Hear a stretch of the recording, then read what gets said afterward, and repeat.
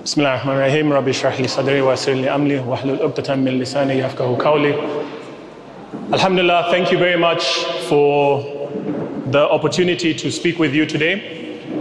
Uh, the topic that I've been given to speak to you about is something that, Alhamdulillah, I am very passionate about, and that is planning and evaluation. The first point that I want to highlight today the importance of preparing.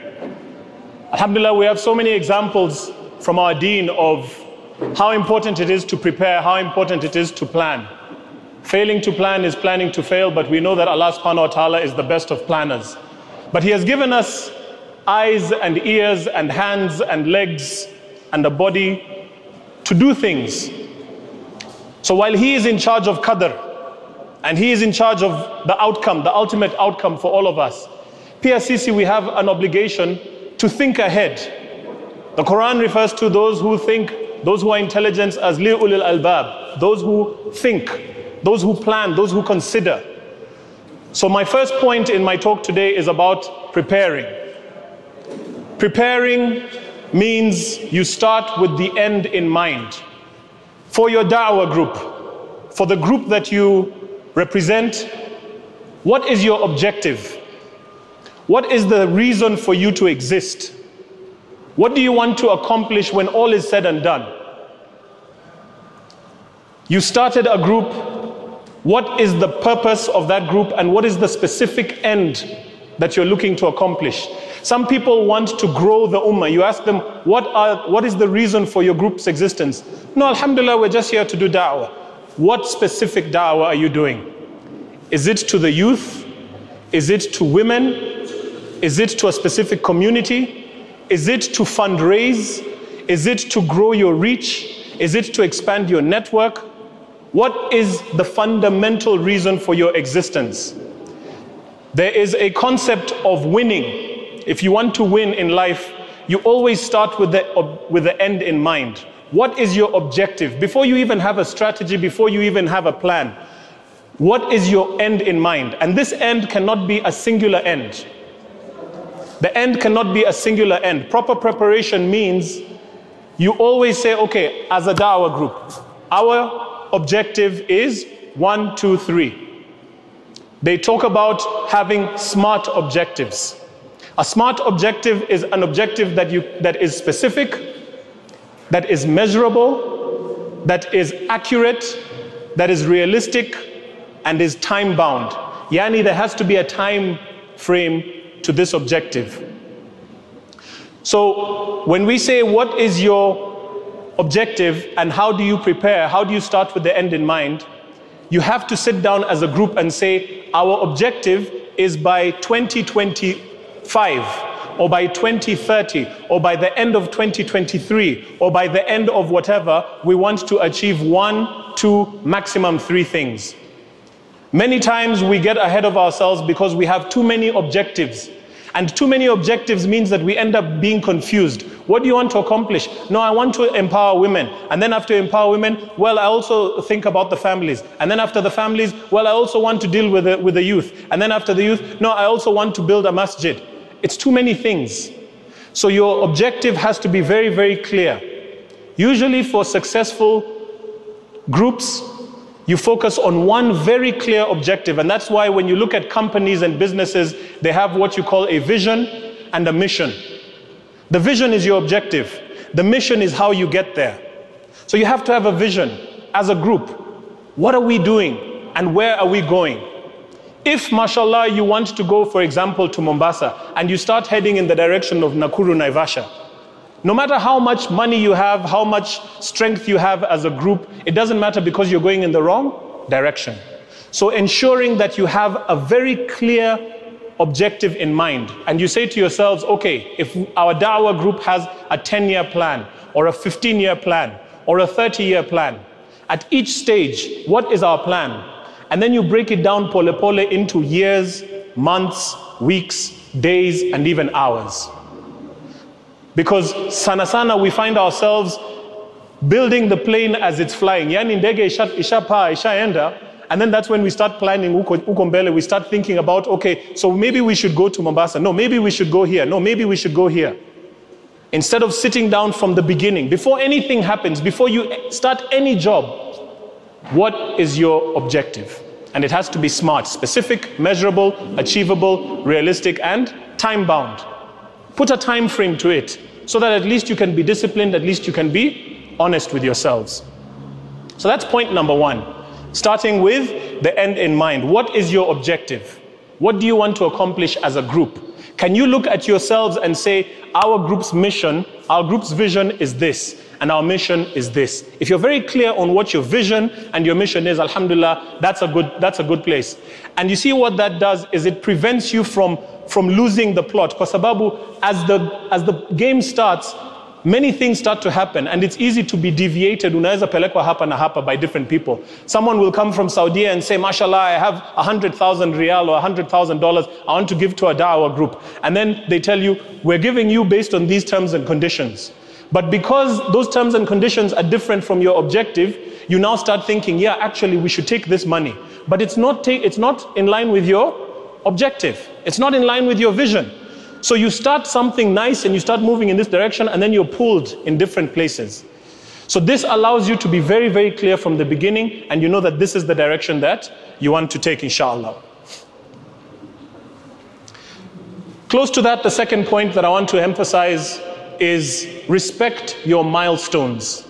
Respect your milestones. So once you have a vision in place, you know that our group by 2025, we want to have maybe 2,000 people convert to Islam. That is our objective. That is our very, very clear objective as, as our group. We want to have 2,000 people by the end of 2025 convert to Islam. That's a very specific, measurable, achievable, realistic, and time bound goal. Now you say, how do we break down this 2,000 into milestones? When are we going to hit our first 100? When are we going to hit our first thousand? When are we going to hit our next five, 500? Because that way, and this is something that many people in business respect, you have to respect the numbers. Because you can be doing things like any, you're just doing it, and then you say, How many of you guys? Alhamdulillah, we've done uh, 200, Alhamdulillah. Uh-huh. And then, well, inshallah, we'll see. My topic is on planning and evaluation. Yes, inshallah, we'll see. But what are we seeing? What is the what are the targets that you're setting step by step on a milestone basis? Of course, we're talking about maybe, I'm just using that as an example. Lakini, there could be other things that your group wants to accomplish. Maybe you want to, to as, as you're doing da'wah, you also want to uh, maybe sink maybe 10 boreholes in a year. By what stage do you want the first five boreholes to be done? Because that at least allows you to have this thing called time in the back of your mind. Milestones are very, very important so that you break down your vision into achievable time periods. Respecting milestones is one of the best ways to su successfully achieve any kind of objective. The third point that I would like to make in this discussion today, inshallah, is the importance of a team. The importance of a team. And you see, a team People think of a team as just a group of people that have come together. Like now, all of us, we can say we're in a team, mashallah. But the team has to have very specific roles and responsibilities. And those roles and responsibilities have to match the person. They have to match the person's personality, they have to match the person's skills, they have to match the person's characteristics. Even in a football team, you can't have 11 defenders or 11 strikers or 11 midfielders or 11 goalkeepers. You have to have very specific people doing very specific things. And your team, especially when it comes to activities that are people facing, which da'wah is, people facing teams need, at least at a loose level, a leader and that leader, you can choose the way you appoint that leader, and the best way to do that is to have rotational leadership. Because most groups fall and struggle because people fight for leadership. They're always trying to angle themselves to be mi ndio kiongozi. I'm the one who's in charge of this, and I'm the one who's in charge of this. But from the beginning, if you know that you have an amir from the get go, someone who is specifically in charge, who has the final say. When I talk about leadership, I'm talking about the person who you nominate who has the final say on whatever it is that you want to accomplish. But that does not mean that they have the final say on everything. Kwa sababu kila mtu akona talanta yake, kila mtu akona kipawa yake. Everyone has a specific gift and a skill that they bring to the table. So as you're putting the team together, it's very important that you look at everybody's strengths. Everybody has been gifted with something. There are some people who are very good at listening, mashallah. There are some people who are very good at taking notes. There are some people who are very good with details. There are some people who are very good with operations and planning. There are some people who, mashallah, they're very good on social media. There are some people who are very good dealing with older people. There are some people who are very good at dealing with children. There are some who are good at dealing with wamama and so on. So you need to find out specifically, okay, in our group, what strengths do we have? Before you even write down the positions, you ask everybody in the group, what strengths do you have? Where do you, where do you feel you can contribute the best? If you put people in the wrong positions, in the wrong roles, you will find people who are doing poor quality work. They will take a lot of time, they will be very, very slow, and they won't enjoy it. They won't enjoy doing what they're doing. And then utawalaumu, you will blame people, oh, wewe, unajua wewe tulikuambia ufanye hivi na wewe ufanyi because you've put someone in the wrong position. You're, they're not playing their correct role. They're not playing according to their strengths. So it's very important, inshallah, in your groups, you very clearly underline what every person's strengths are. And then you leverage on those strengths and you put them in positions where they will utilize their strengths, inshallah. So once you have their strengths locked in and you understand these are the strengths of the team that are involved, now you can start to say, okay, based on our group's vision and what we want to accomplish, our team can now have the following roles and responsibilities. Yani, not titles, roles and responsibilities, because now you have to find out what is each person going to do. What is each person going to contribute? Because once someone is, in, is doing exactly what they're good at, yani wow, that is their natural strength. It becomes easy for someone to put their hand up and say, yes, Hapo, in that role, I'm ready. Because it's easy to select people from a point of strength than from a point of nomination. Because most, most of the times in groups, what happens is we say, okay, we need the following people to do this. I am Mwenesi, you, you're going to be in charge of this. Salim, you, you're in charge of this. But I'm not good at that. I'm not hata sitaki kufanya hiyo kazi but I'll do it because you know what it's da'wah and I have to do my, my duty to Allah. But I'm not good at it.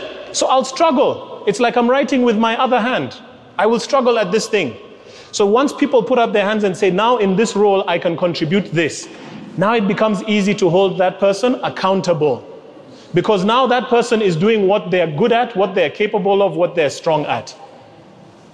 And still on this team point Still on this team point, and this is something that many of us forget.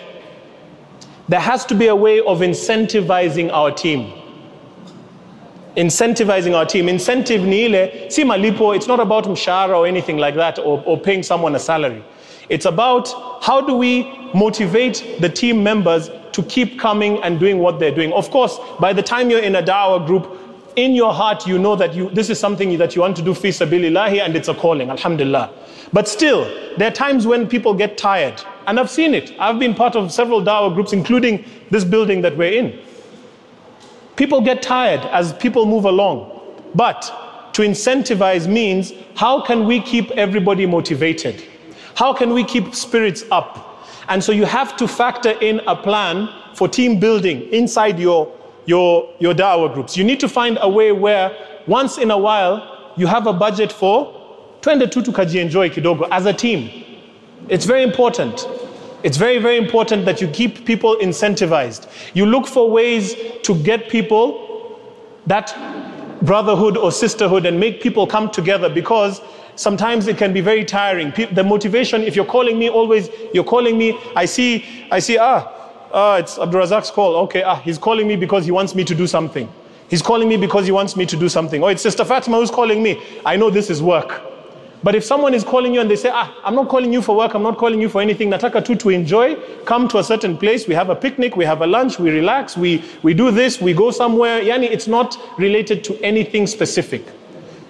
You know, those are some of the things that I talk about when I say incentive. We need to be able to incentivize our teams. Being able to have fun days where you go play football or you go relax somewhere or whatever it is that you guys come up with.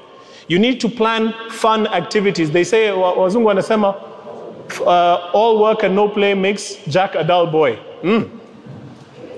Lazima. At least in the, in the process of all of this, let's remember to at least give ourselves time to enjoy ourselves so that we can have that incentive.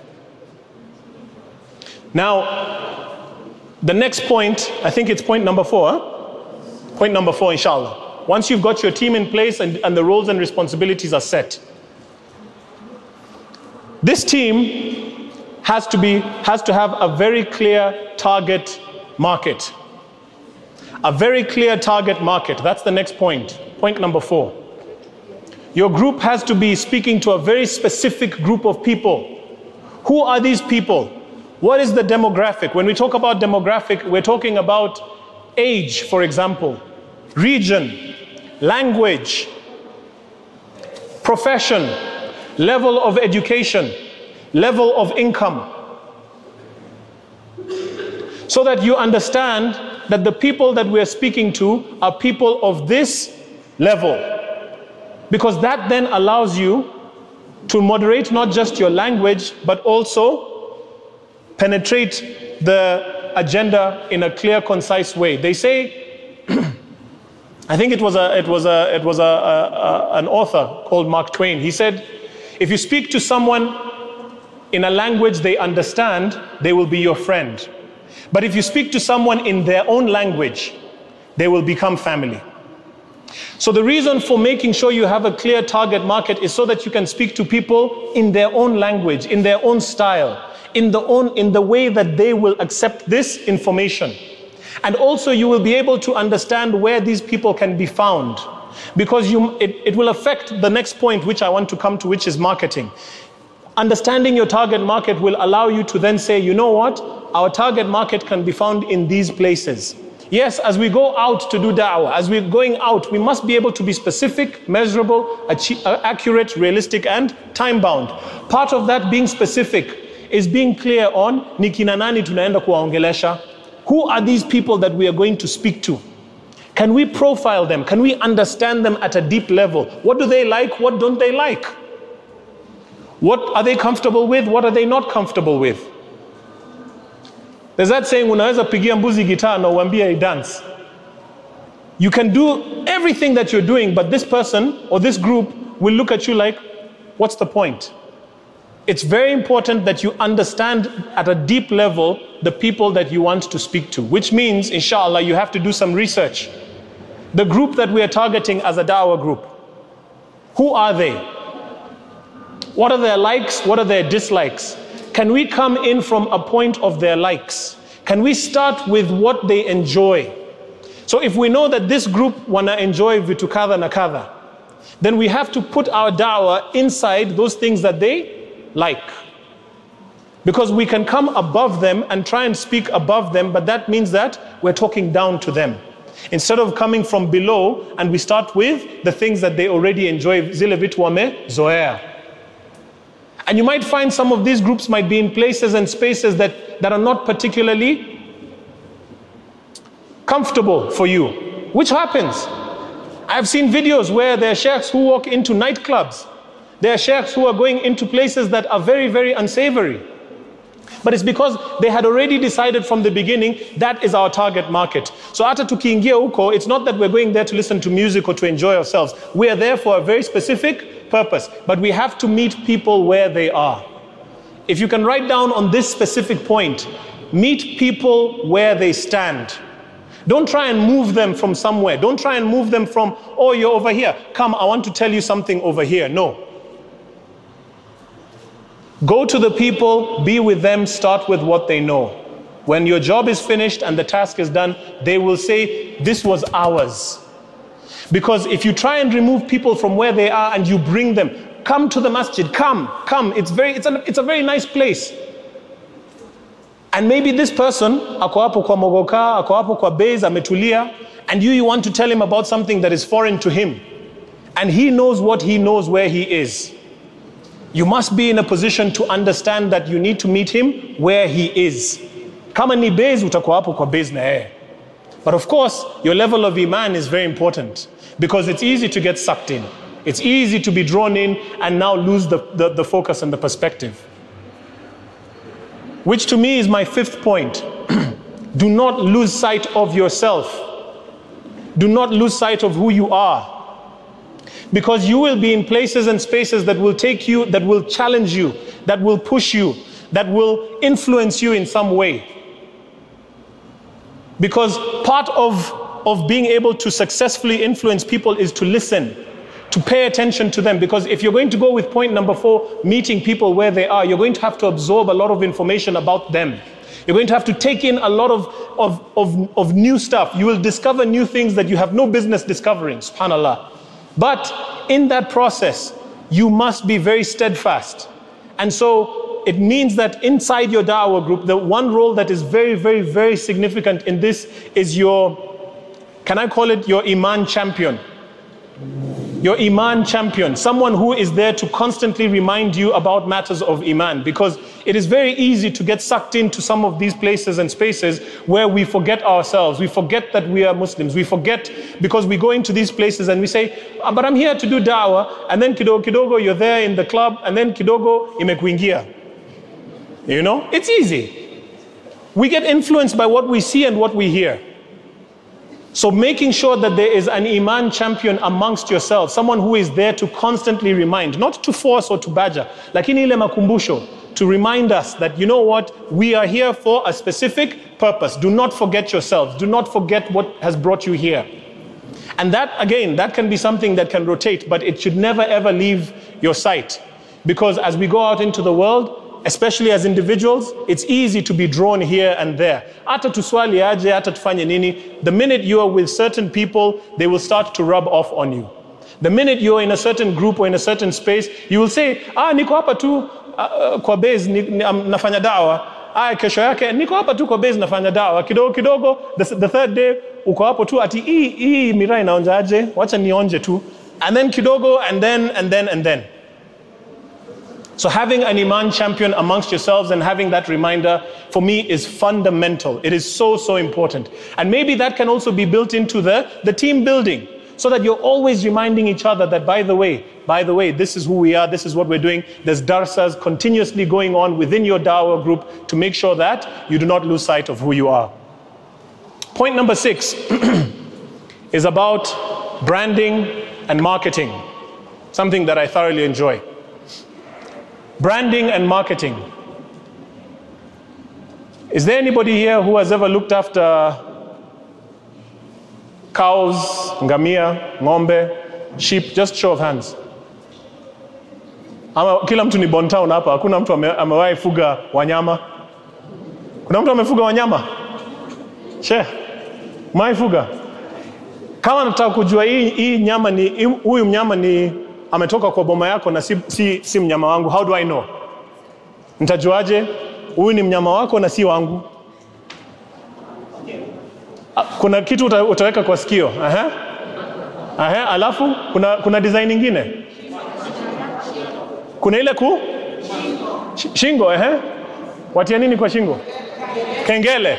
Lakini nitajua ni kengele ya Sheikh ama ni kengele ya mwenesi, kwani kengele zina sound tofauti. Eh, unaweza kuchoma? Ehe, that's the one I was looking for. Kuna ile ya kuchomelea, which is of course you have to do it in a very humane way. Usichomelee, usifinye sana. It's just on the outside hapo kwa manyoya, si ndio? But in order for you to brand this animal, you have to take that hot chuma, si ndio? Wachukua hiyo chuma, it's hot.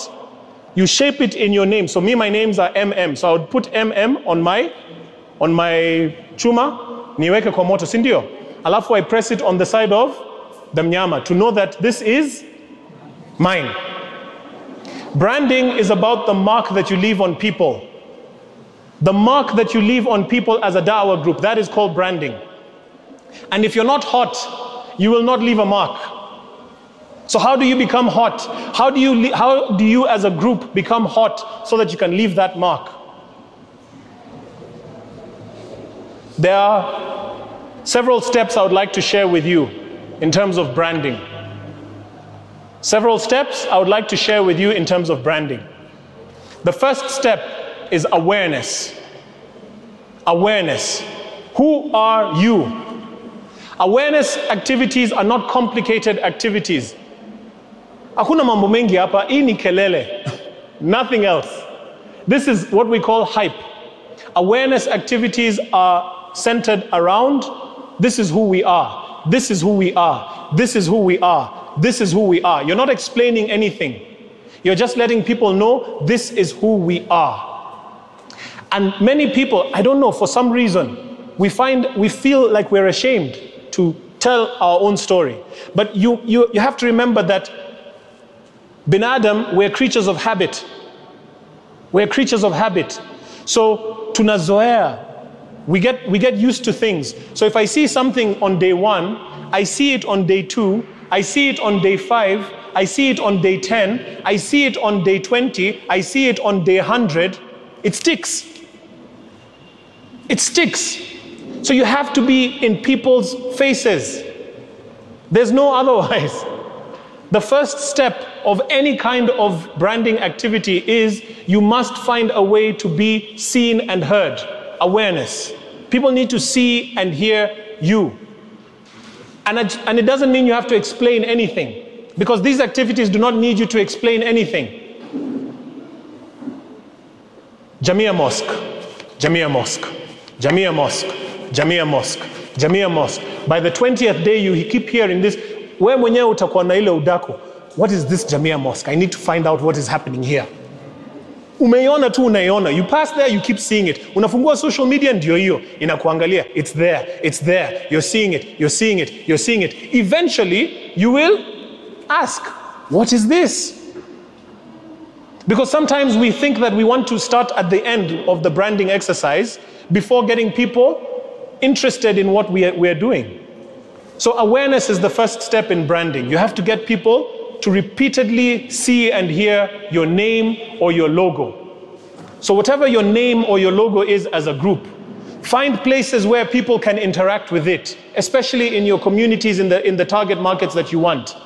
Kama ni online, sawa. Kama ni in, in terms of however you want to do it. And these strategies are things that you can think about. How can we make our, our group name seen and heard? Not explaining. You don't have to explain anything. Just make sure that people see and hear, see and hear. There's this group, there's this group, there's this group, there's this group. Eventually, that curiosity will make people want to inquire, which is the second step of branding.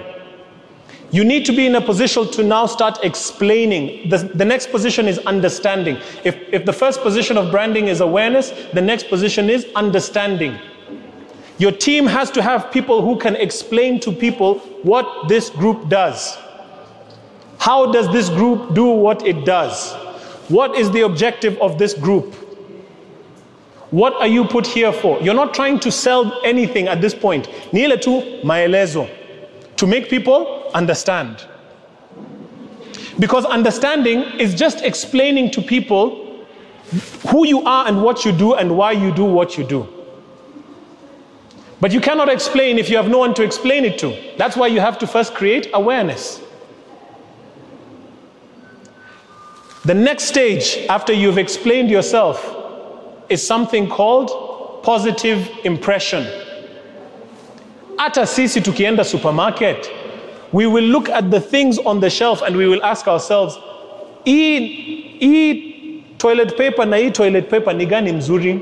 Hmm, I wonder.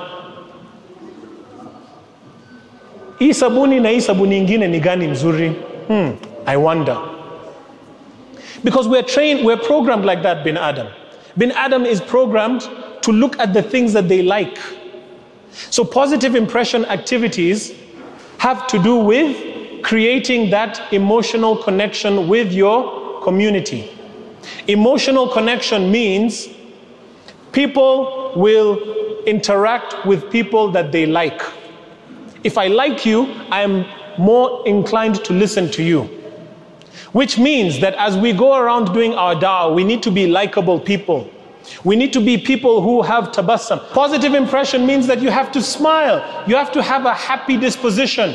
You can't go and do da'wah when uko umenuna, umeboeka, umejam. Huh? You have to smile, have a happy disposition.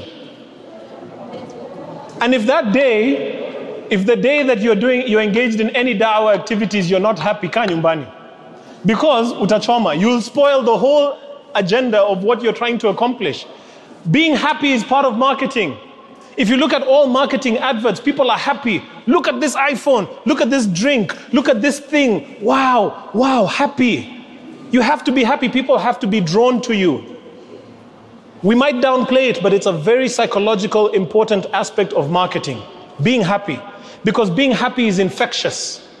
It's infectious. The minute you smile at someone, hata hata wafanye nini, they can't help but be like, okay, sawa, ni nini? What is it? Ah, okay, okay, fine, sawa. Right? If you just smile at someone, bus.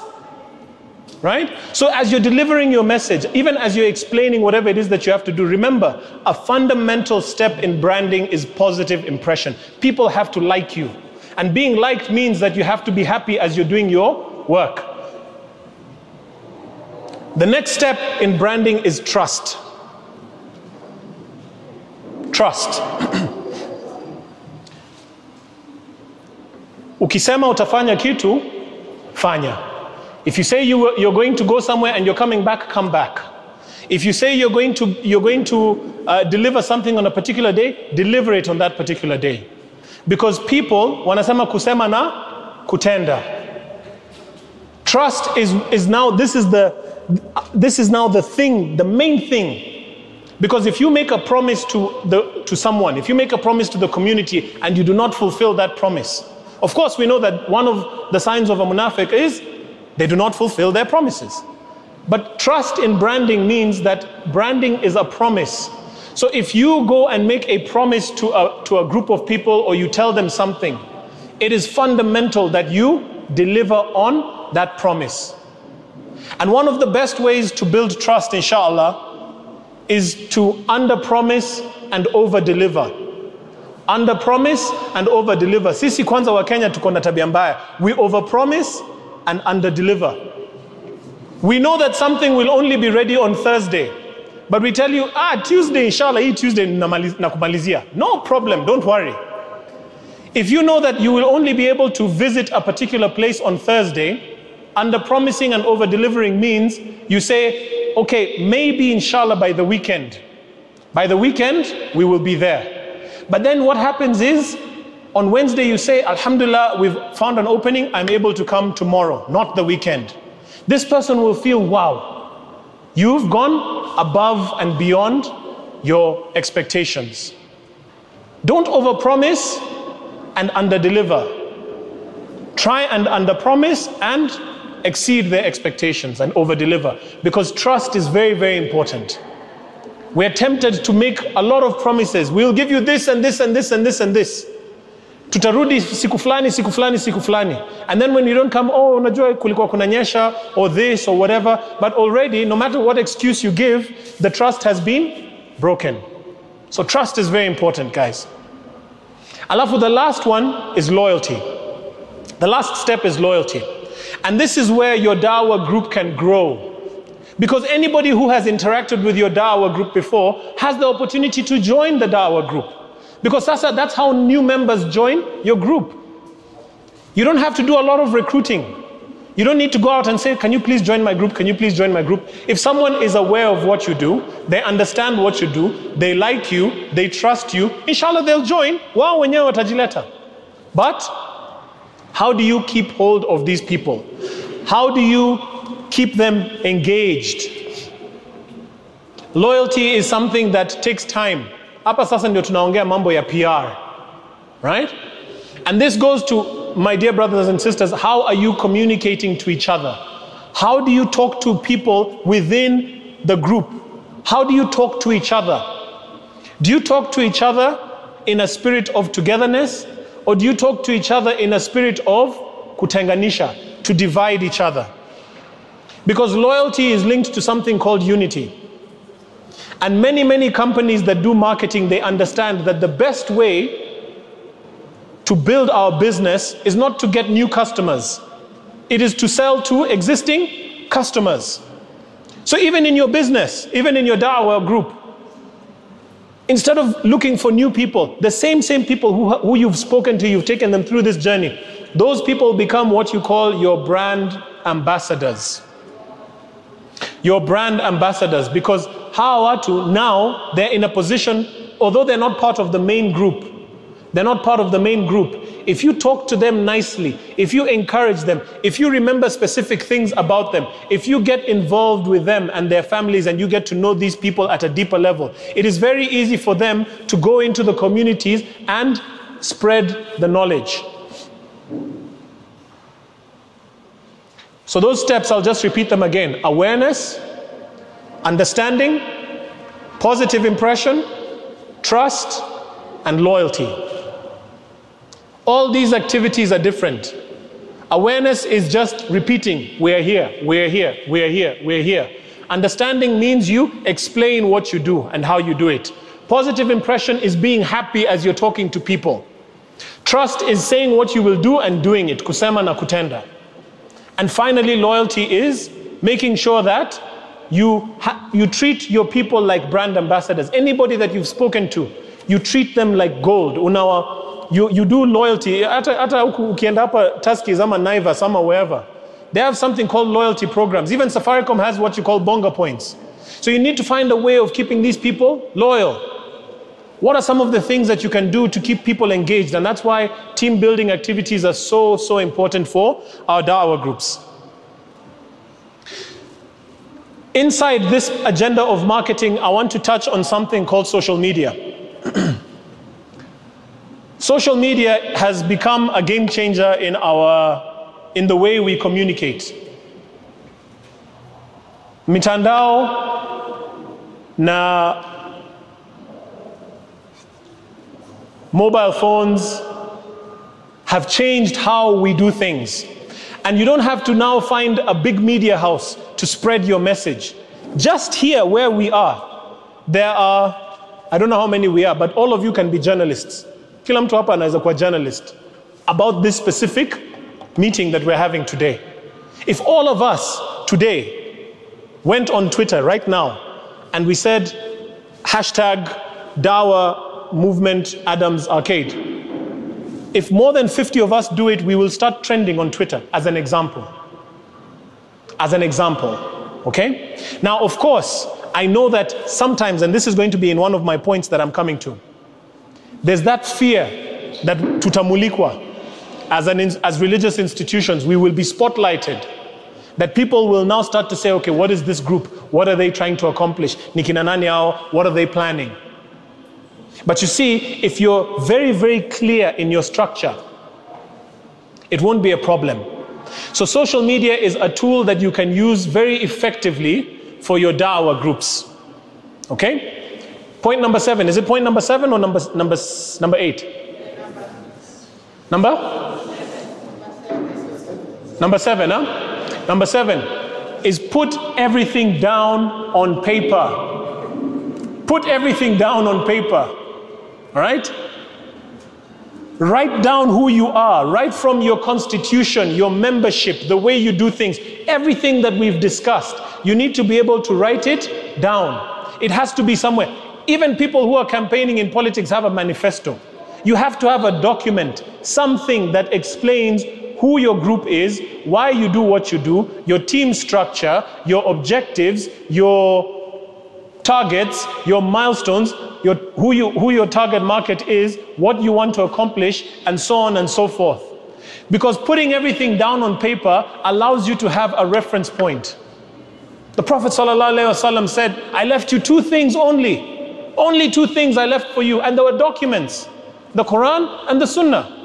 That is the importance of documentation because you need a reference point for your group. And also, it helps whenever something happens and one of your group members are accused of something, you can always say, you know what? This is our group. This is what we do. Here is the evidence. This is what we are. Because if it's not written down somewhere, it doesn't exist. Subhanallah. And that is how the world is today. Please ensure that you have something called a constitution because the structure of your, of your group has to be organized in a written format. You have to write down and document everything. Kuna fulani, this is what they do. There's this position, this is what they do. There's this objective, this is what they do. By 2025, this is what we want to accomplish. This is how we're doing awareness. This is how we're doing understanding. This is how we're doing this. This is how we're doing that. It doesn't count if it's not written down. So please write down everything that your group does. And one of the roles, inshallah, in your group needs to be someone who will look after this document. Your dawah group document. What who who what is the structure? What is the the the the, the backbone and the reference of that document? Point number 8 is evaluation and monitoring evaluation and monitoring can be every day if you want it can be every week it can be every month but I've realized that the best way to do evaluation and monitoring is at least minimum once a month. Once a month, come together as a group and say, okay, what have we accomplished so far and what do we want to accomplish in the next month?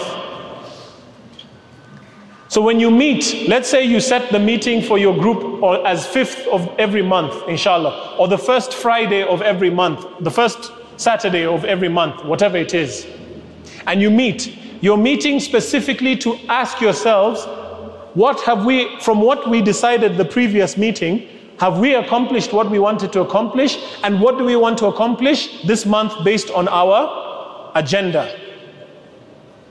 You're not meeting to now start saying, oh, Flani, you're going to be doing this, you're going to be doing this. No, because that has already happened. So we, we keep ourselves honest by making sure that our meetings are not to discuss general things.